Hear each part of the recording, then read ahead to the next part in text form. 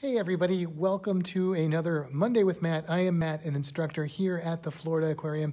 And I want to say thank you to our new sponsor, Publix Supermarket Charities, for helping us out get these SEA-SPANs out for you guys so that you can enjoy all the fun entertainment that we have to offer and learn some stuff as well.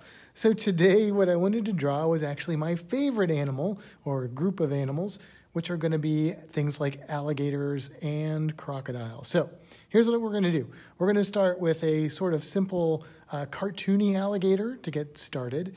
And then we'll get into a little bit more realistic ones and talk about the differences and stuff like that. So let's get started with our basic shape here for our little cartoony alligator. And I'm going to make a big circle, kind of an oval shape. This is going to be the body of our alligator. And then we're going to give it a little tail. It's going to be kind of a, a little stumpy tail. Oh, hello, Kimbra, and hello, Virginia. Um, we're going to make it, this is cartoony, so it's not going to be, you know, 100% accurate here. Little cute little tail like that. All right, see how we're, where we're going with this here. And then for the head, uh, we're going to give the head here and then a mouth and just kind of come out like this. So uh, this is our basic structure, and then we're going to have some little alligator legs here. One in the front, because you can't really see the other one on the other side, and one in the back. Make it look like a little knee. There we go. All right, now we're going to give our alligator cartoony eyes since this is a cartoony alligator, so big circles there, and then his nose is going to come up a little bit like that. Just getting this rough shape in here so that uh, you guys can draw it from this, you know, skeleton, so to speak. Not all the animals I've drawn have a skeleton, but the alligator does. So here we go. All right, so th this is where I'm going to stop with this part of it, and then we're going to go to our next layer here. We're going to switch over to our ink brush, and we're going to we're going to get the details in on there. Hello, Rachel. And uh, yes, Rachel, of course, I'm going to be drawing a gharial. The gharial is the coolest animal on the planet, just so you all know. It's it's my favorite animal, so I will spend a little bit of time on the awesome gharial. So here we go. We're going to draw the snout here, give it little nostrils. We're kind of a side view, but it's going to be turned a little bit in space. And then the mouth, the mouth of the alligator is very curvy. So I'm going to kind of represent that. And of course, this one is a cartoon one, and it's going to be a very happy alligator. So it's got a big smile on its face. Going to give a big eyeball here. And then the nose is going to kind of curve up into that like that. And then we're going to draw the other eyeball back behind there. Remember, this is a cartoon alligator. Maybe give a couple little lines there. And we'll, let's see, we'll make this alligator looking up behind it. I always think that looks kind of cute when they do that. I mean, when cartoons do that. okay, here we go. And now we're going to give this bottom jaw some attention here notice this little bit of a curve here, and then they've got this big jowl because alligators, of course, have really, really, really strong jaws. The strongest jaws of any animal around today belong to this crocodilian group, and they're pretty intense. So we're going to put some teeth in here. Now, this is an alligator, so we really normally don't see the teeth sticking up. Of course, there aren't any alligator orthodontists, so you might see one with teeth sticking up because their teeth are crooked, stuff like that. But, uh, but this one's going to have good teeth. All right, so now we're going to go to the back of the head here, and I'm going to make it a little bit square, and I'm going to do this little space here. That's the ear. Alligators have an ear right behind their eyes, and the cool thing is they can actually close this ear up keeps water out. And if they have children that are really being annoying, they can just close. No, that's not true. But but they can close that ear to keep the water out, and they can of course close their nostrils, which is really cool. I mean, I can't do that unless I pinch it with my nose. They can also close their eyes, and they actually have three eyelids: uh, an upper eyelid, a lower eyelid, and this one that slides across that's clear, and uh, that's like built-in protection for them, almost built-in goggles or something like that. All right, we're going to give our alligator his little foot here. And I'm only going to put three toes, you know, like cartoons don't always have the right number of toes. I'm just going to put three toes there. And we're going to do his little back foot here. And three on that one too. And then we're going to give him his little alligator belly, right? Looking like a cute little alligator. And his little tail. And now we're going to do the back. Now for the back, what I want to do is I'm going to put some spikes on the back because alligators have these bony plates underneath their skin, on their back, on their neck. They're called osteoderms, and they're literally bony plates right under the skin. They help the alligator with several things. One of the most important is they help them to thermoregulate, which means to get that heat from the sun to recharge their body. So we're going to just draw some little spikes here. This is where this little red line can help me out because you know, I didn't draw the spikes in my rough sketch. I could have, but I didn't want to do that. I just wanted to do it like this. But now I'm following that line, so it tells me where it's going to go. And then come down here like this. And here it kind of splits. There we go. Now they've also got more up here, so I'm just going to represent that with some little ovals for the scales up here. And let's turn off our sketch layer we can get a better look. We'll give him some little toenails. Alligators have webbed feet in the back, and those actually help them to keep from sinking into the mud. That also helps them to, if they're females, to build their nest. Uh, what it doesn't really help them do is swim. They use this normally much longer, powerful tail to swim through the water. Yeah? All right. Now, um, maybe I'll hint at some scales like this. I'm not going to draw every scale. It would get really busy, and for a cartoon alligator, that's just too much.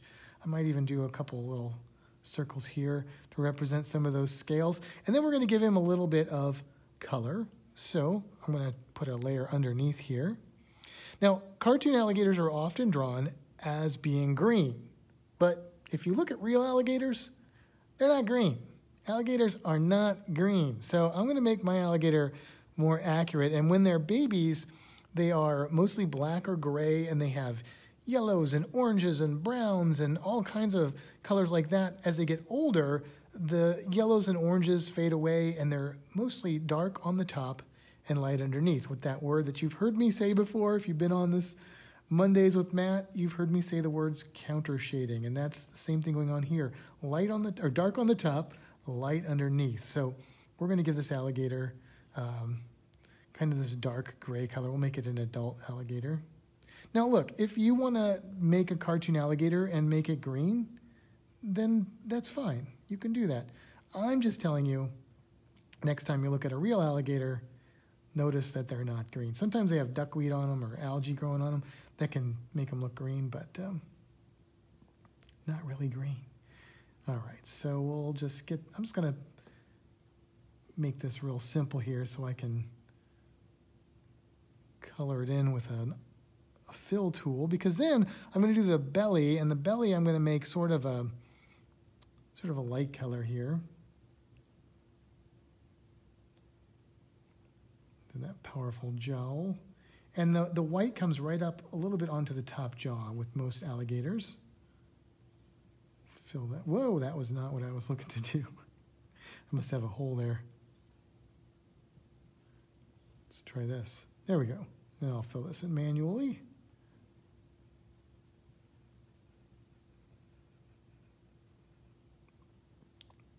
Go back to this one here.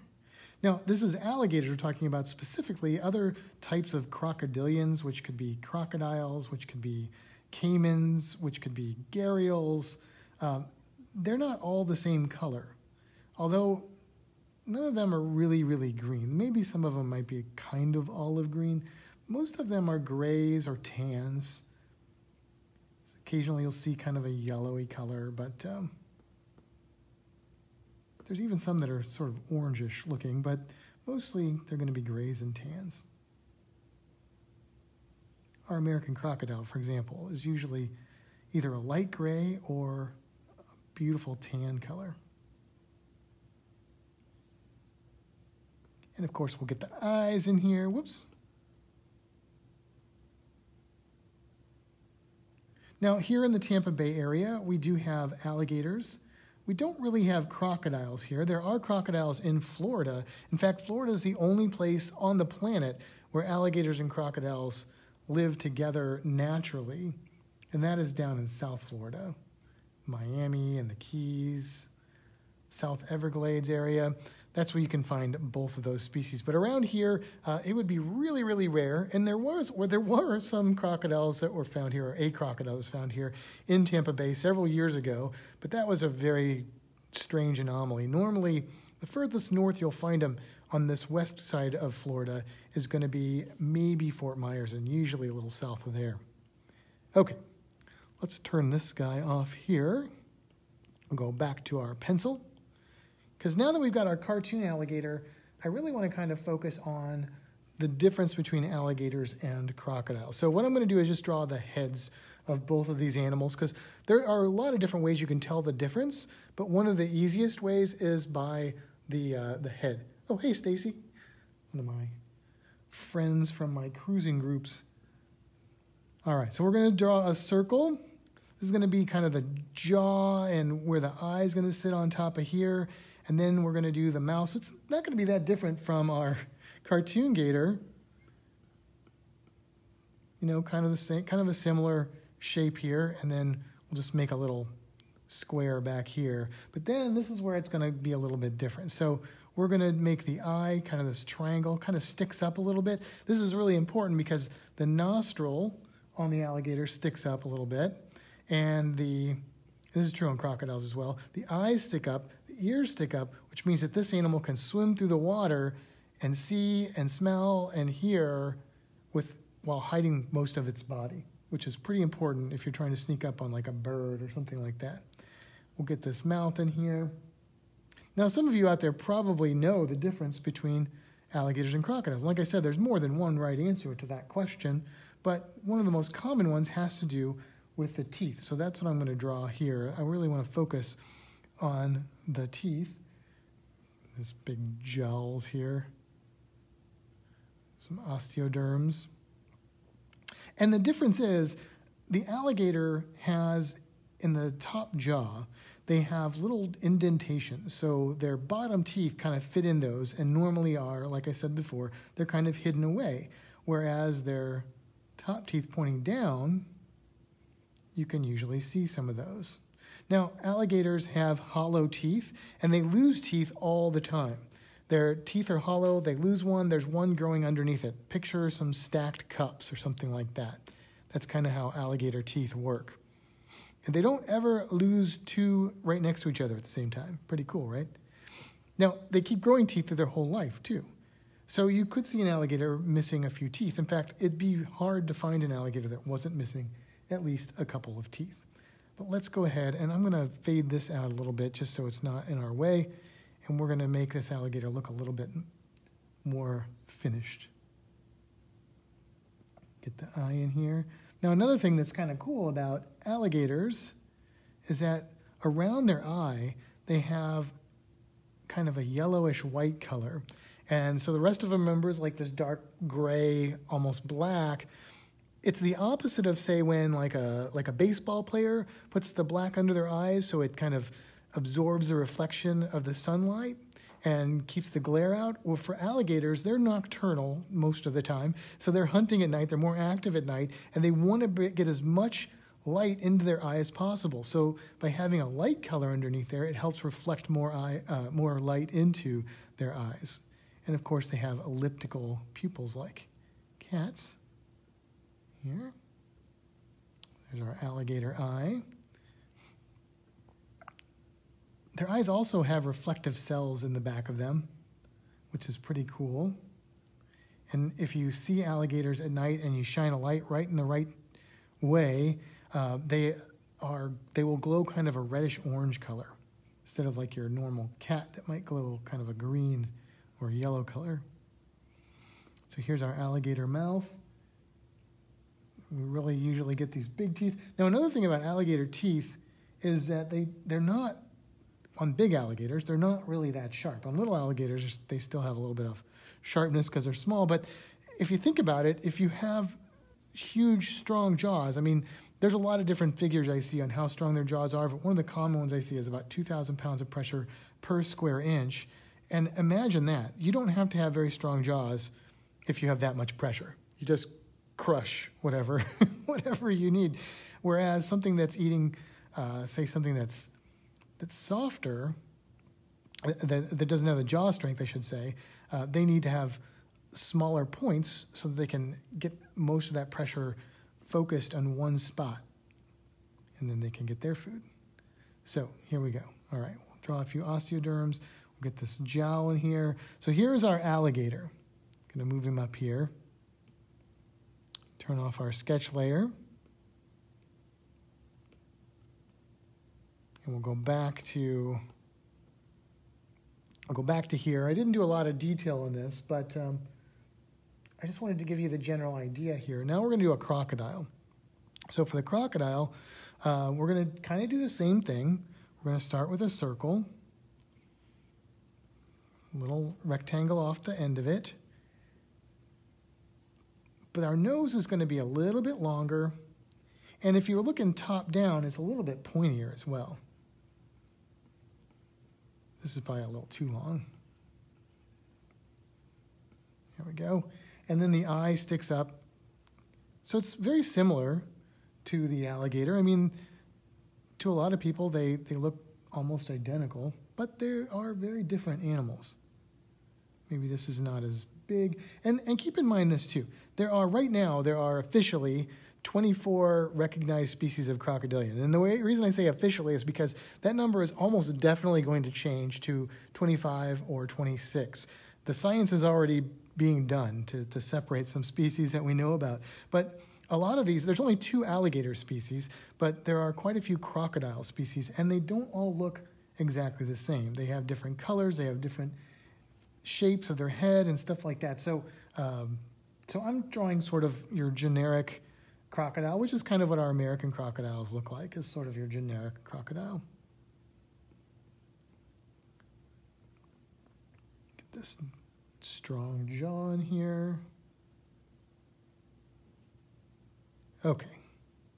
Now, when we draw the teeth on this one, right here, there is a notch. And uh, this is the fourth tooth back on the crocodile, and it sticks up through that notch there. And so you can always see that tooth. Now, most of the time, crocodiles are a little toothier anyway, so usually you can see more of those teeth, even though technically they're, they're not necessarily sticking up, but you can usually see them there a little bit better. All right, let's go ahead to our ink layer.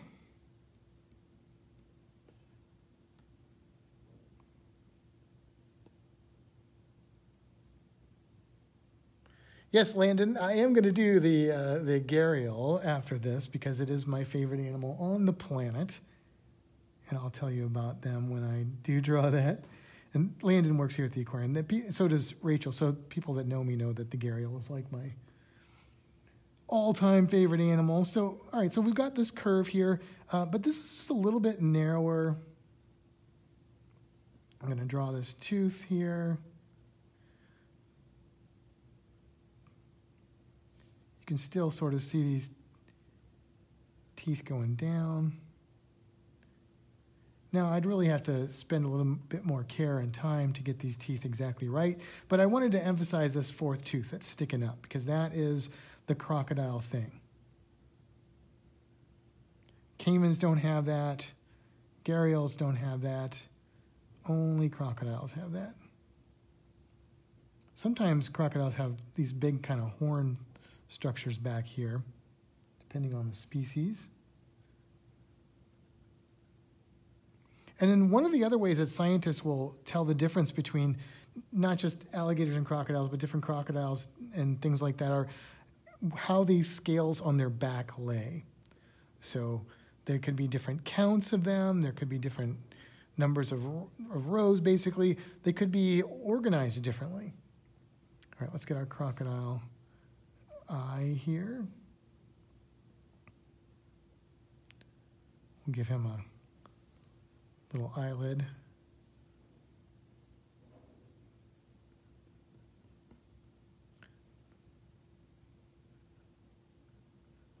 All right, so without going into too much detail, turn off our sketch layer. A little bit, little bit longer, pointier snout if you're looking from the top. This is the alligator and this is the crocodile. But also just, um, just some subtle differences there. And you have to look at a lot of these to get to where you can really tell them apart easily, but you can do that if you look at them long enough. Now let's do the gharial.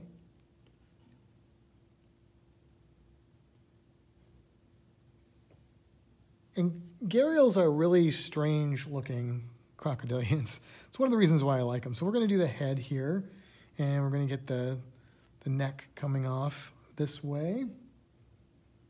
But then the snout is where it's going to get really strange because gharials have a really long snout. I mean, really long snout.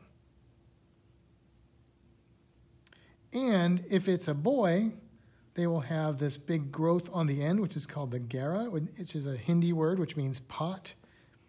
If it's a female or a younger animal, they won't have that. The mouth is pretty straight on the gharial but you can see a lot of their teeth. It kind of curves up a little bit here to make it look like they have a smile. Their eyes are really far up on their head, which is really interesting.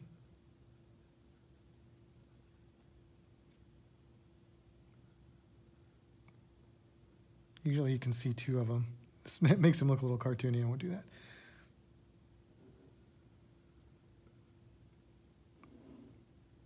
All right, let me see if I can make this guy look less like a Muppet by doing this incline. Because right now he's looking a little bit Muppety. Not that I have anything against Muppets. All right, so uh, let's give him his ghara. We'll make this a boy. And one of the cool things about gharials is that um, when they have their offspring, their baby gharials, which is really cute, the males, so in most crocodilians, the females will do this, but in the gharials, the males will actually provide some parental protection or care. So you'll see photographs of male gharials with a bunch of babies on them. Now, actually, all the species of crocodilian have been observed with some sort of um, male care for their young, but only in captive environments. Let's see if we can get these eyes right. Still looks like a cartoon, right?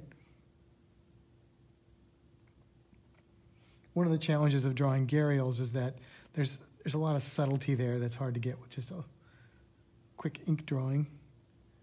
Now they do have jaws that are fairly strong, but not nearly as strong as their crocodile and alligator cousins.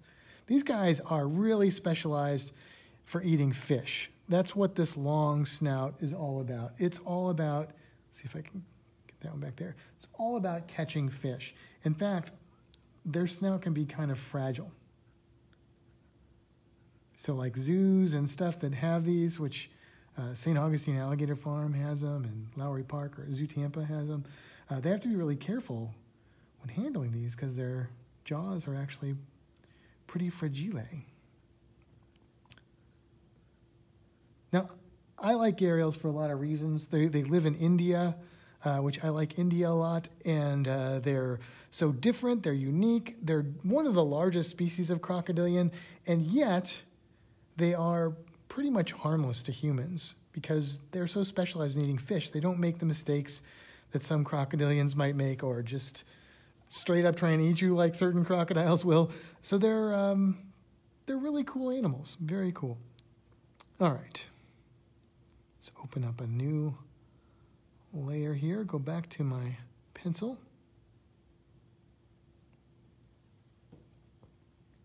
Now, what I wanted to do today since it is May 4th, I thought I'd do a fun drawing that's not necessarily super aquarium specific, but uh, I think you guys will appreciate this. So um, move this down a little bit here. And I'm not going to say what it is right away, but I feel like you guys will be able to guess it after, after a bit. So let me just start drawing here.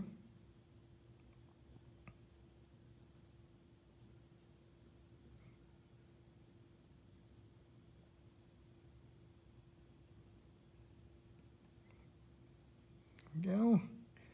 And if you think you know what it is, you can, can guess. I don't know that I'll be able to see it, but uh, I'll try and peek my head up every now and then and see if I can read a comment or two.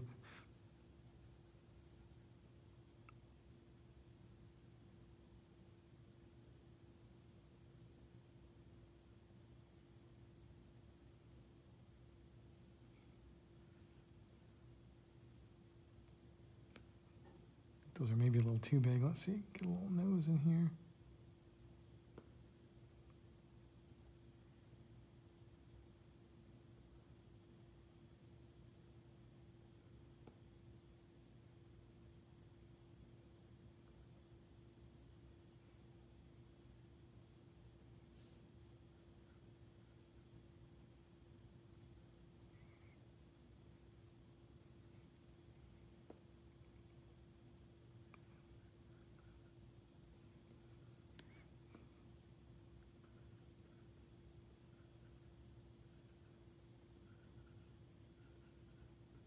Okay. Anybody guessing up there? Let me take a look here. Don't see anybody, but the, the comments don't stay. So uh, for me, they don't. So let's see. We'll start putting some ink on this little fella.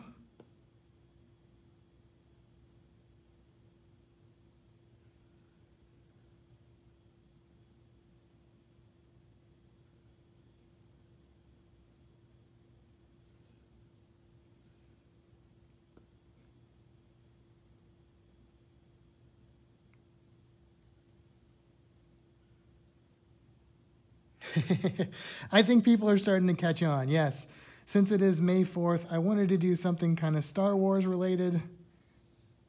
And so you're getting the the child. I guess it's it's whatever species Yoda is that they won't tell us what it is, I think. And I don't know. I just watched that show, so it's pretty cute, right? So we'll just do a little bit of fun Star Wars stuff. Now, next week we'll be back to do more of these. So if you do have animals you'd like to see me draw, comment in the comments here, and I will go back and, and look through them, and I'll take that into consideration when I'm choosing next week's animal. Also, make sure that you tune in on Tuesdays for Tom, as he will make some really cool music for you guys to enjoy.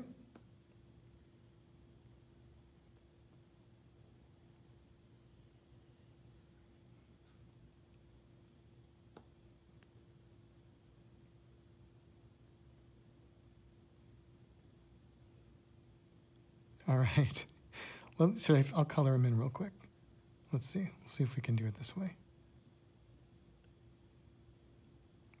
He is green, right? So crocodiles are not green, but whatever little animal species that the Yoda thing is, is, is green. So we'll do that.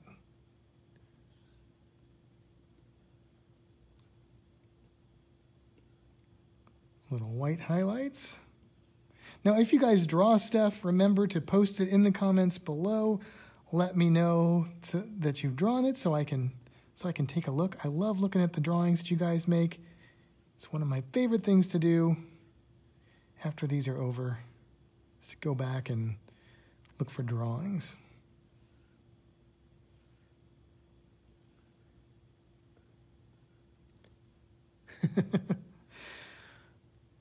There we go. May the fourth be with you. I actually drew, um, I'll show you these real quick before I go. I was practicing because I, I practice these, so I make sure I do a good job for you guys. And I'll show you a couple of them that I did here. Um, oops. Last night I did a porg. And this is my practice Yoda here. There we go. So I'm going to go ahead and put my pencil down. Thank you guys for watching. Until next week, I will see you later.